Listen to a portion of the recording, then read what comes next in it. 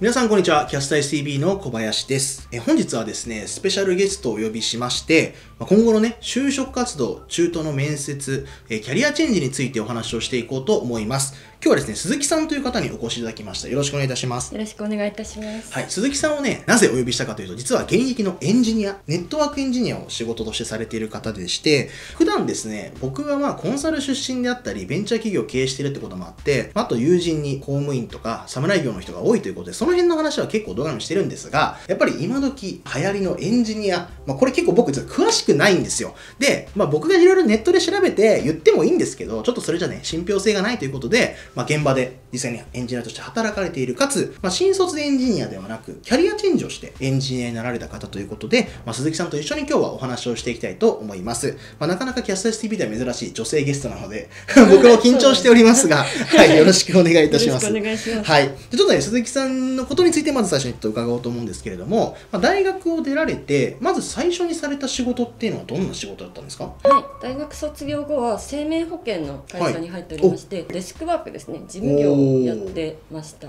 なるほど。じゃあ全然、まあ言ったらエンジニアと関係ないというか、全く関係ないですね、文系職。もうもう資料やったりとか、まあ、事務作業をしたりとか。そうですね、基本的には事務作業で。なるほどですね。はい。で、その後、いきなりエンジニアですか？そうですね、その後、コールセンターはい。で短期的に働いておりまして、はいその時に少しネットワークのエンジニア関係の仕事をしてなるほど、なるほど。なんか問い合わせとかで、これどうなってるんですか？とか、そういう質問がちょっと来るようになって、ちょっと興味持ち始めたかなと。興味を持ちはい、始めなるほどですね。で、その後、どういうふうに、まあ、エンジニアになると言っても、はい、じゃあ今から僕はエンジニアですって言ってもなれるもんじゃないと思うんで、はい。どういうふうにエンジニアにこうなったんですか？その後ですねネットビジョンアカデミーというスクールがありまして、はいはい資格取得のスクールで、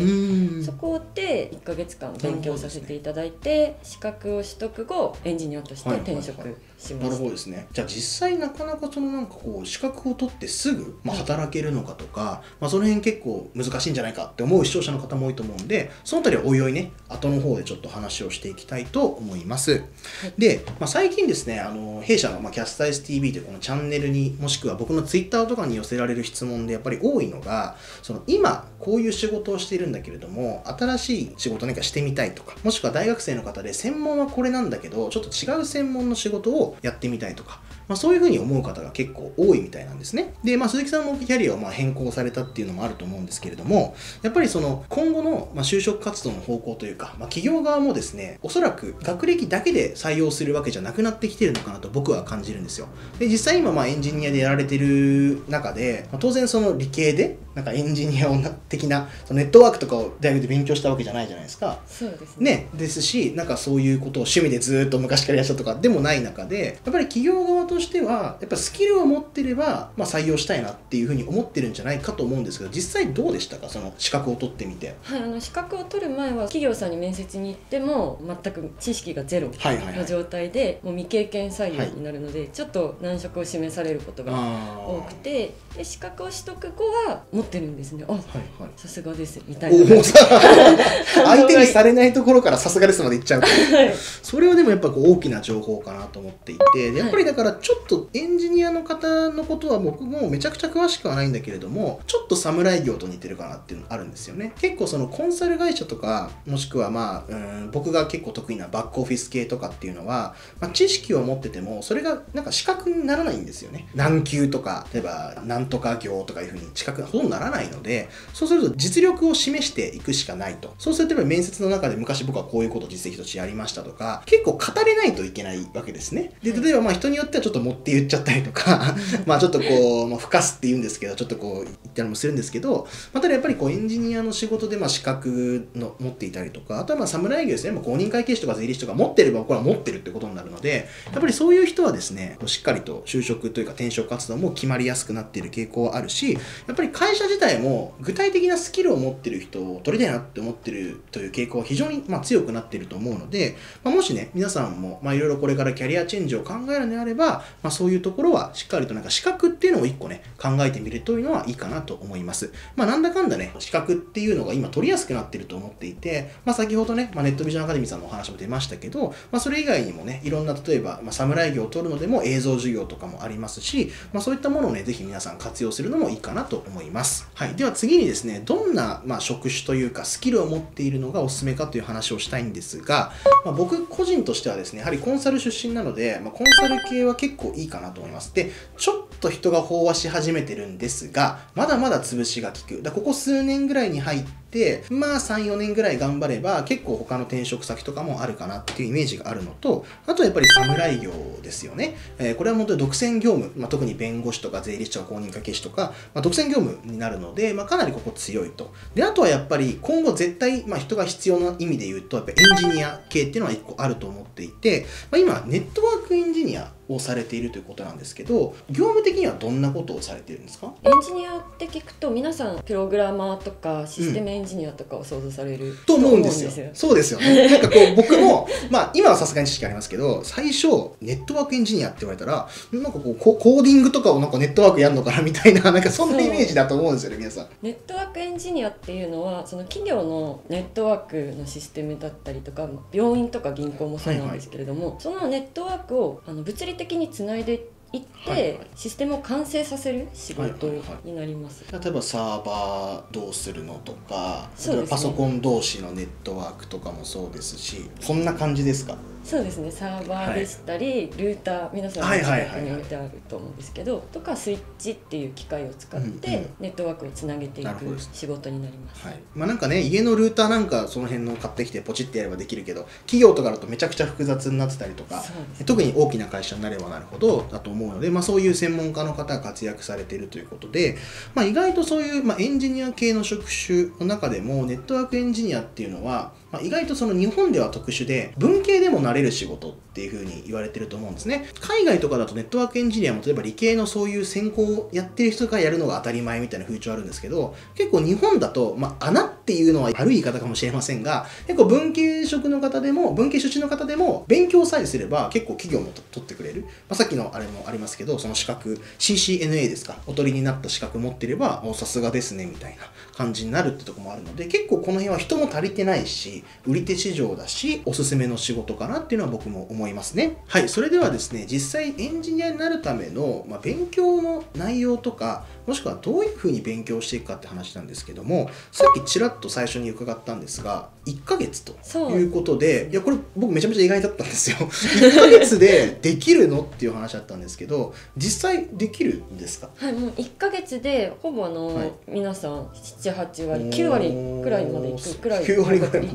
そんな取れるんですよ。ねなんかえもうあれですか？じゃあもう毎日みんな徹夜で勉強とか。もう週7日徹夜で勉強とか。そんなことはなくですね。はい。はいもう平日週に5日とかでできる。はい。平日週に5日で9時から18時まで勉強してどですね。それで資格を取れるうん。くらいのレベルちなみにその僕もその資格は詳しくはないんですけど例えば独学で取れるかっていうと取れるものなんですか？ちょっと難しいですか？そうですね。独学でも取得はできるかと思うんですけれども、はい。期間的に半年とか、半年以上かかってしまう可能性あもあります。あじゃあそうやってちょっとスクールで通ったりするメリットっていうのははい。単純にまあ短くなるっていうのもあると思うんですけど何がこう違うんですか？独学とそうやって通ってやるっていうのは。あのまずその講師陣が、うん。あの現役のエンジニアの方がはいいらっしゃって座学の講習であったりとか、はい。実際にネットワークの機器を使って、なるほどなるほど。はい、実機演習はいはいもはい。やっていただけるので、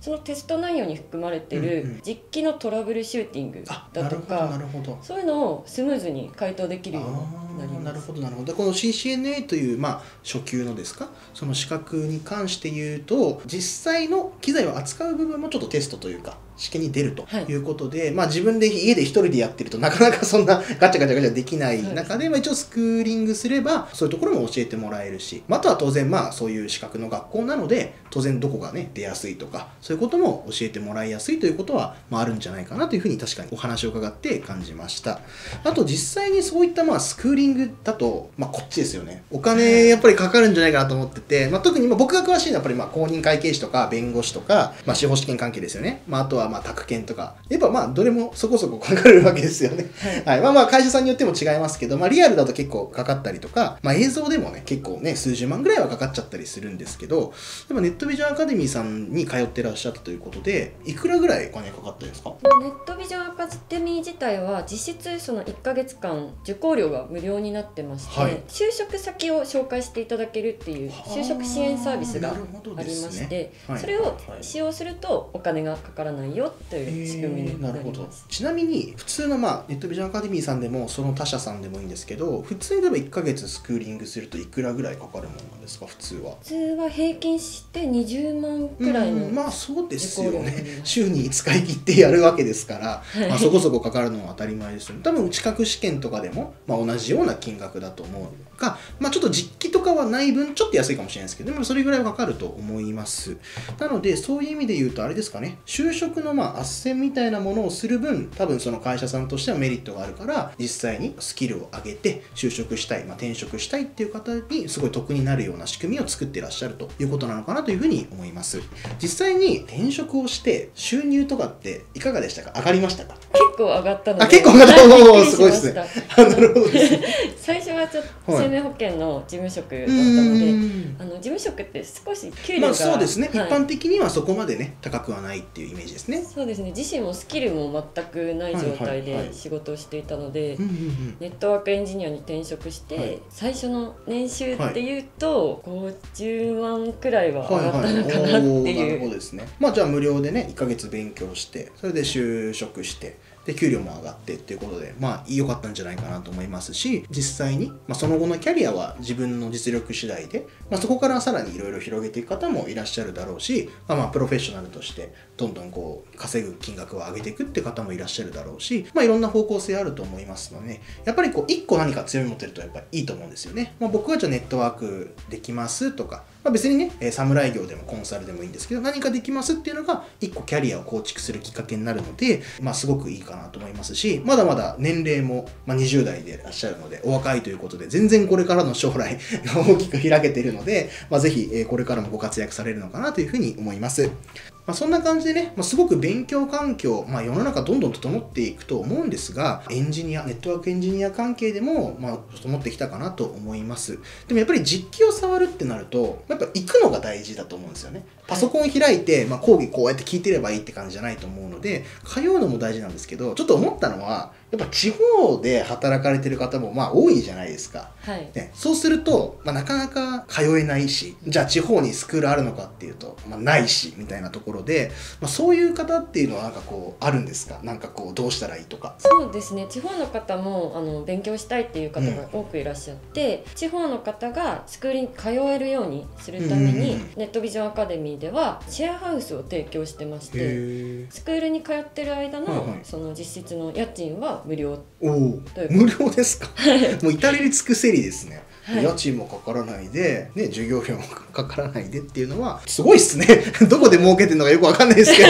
はい、でもなんかまあそういうサービスもあるということで、まあ、すごいあのいい話だなと思いました。というわけでですね本日は皆さんもお気づきの通り、まあ、ネットビジョンアカデミー様のまあご提供で動画を撮らせていただきましたが、まあ、あのネットビジョンアカデミー様がいいか悪いかっていうのはまあ皆さんね一人一人、まあ、概要欄に URL 貼っておきますので、まあ、ご覧いただきまして。ただもともとねやっぱやってみたいっていう方も多いと思いますし、まあ、これからキャリアアチェンジ考えたいけど何したらいいかわからないっていう方いいと思うので、まあ、一度ね、自分で調べたりとか、まあ、説明を聞きに行ったりとか、まあ、そういうことをすることが自分の人生の変わるきっかけに必ずなると思うので、まあ、ぜひ実行していただければと思います。まあ、あとはね、なんかこう、まあ、宣伝でああだっていうふうに思うかもしれませんが、まあ、まずは自分のインプットをすごい増やすことが大事です。ね、概要欄にいつもキャスタイス TV ではいろんなね、参考になるビジネス書いっぱい並べてます。Amazon のリンクね。まあ、そういうものを読んでみるのもいいし、まあ、こういう動画をきっかけにいろんなところに話を聞きに行くのもいいし、まあ、別に今日ね、動画撮らせていただいた、まあ、そのエンジニアっていうのだけではないんですが、やはり自分の情報を増やすことで自分のキャリアをね、より良くしていくってことは間違いないです。ね、限られた情報だけで選択肢がない中で、まあ、やっていくよりは選択肢を自分の中でいっぱい作って、その中で、まあ、結果的に何を選ぶかは皆さん次第なので、まあ、ぜひね、えー、お一人一人の、まキャリアの成功というのを祈っております。はい、というわけでね、本日の動画画は以上です。えー、最後までご視聴いただきましてありがとうございました。